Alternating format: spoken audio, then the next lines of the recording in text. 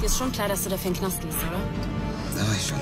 Wer nichts zu verlieren hat, nimmt so ein Typ, sich blindlings in die Scheiße zu stürzen. kann nur noch gewinnen. Wenn Sie einen Job suchen, Sie können meinen haben. Alarm für Cobra 11. Heute 20.15 Uhr.